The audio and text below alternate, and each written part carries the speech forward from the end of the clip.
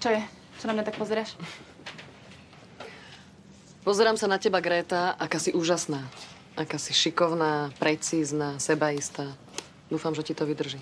A musím ti povedať, že ti veľmi pristane, keď nie si pri operácii naštvaná. Prečo by som mala byť naštvaná? Tento pacient ma nevytočil, na rozdiel od Braňa. Čím ťa Braňo vytočil? Tým, že sa skoro zadusil? Alebo tým, že ťa tak nešikovne balí? Mala som sa celú noc učiť. Čaká ma dôležitá skúška. A kvôli jeho vymyslom... a To je jedno. Viem, že je Braňo taký trošku taký žabiak, ale garantujem ti, že keby si mu dala pusu ty, tak sa zmení na krásneho princa. Ďakujem, neprosím. No dobre, pozri.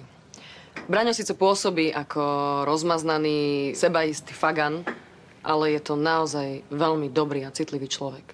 Mne osobne veľmi pomohol. Pozri, nemusíš za neho orodovať. Ja viem, že sa od školy zmenil.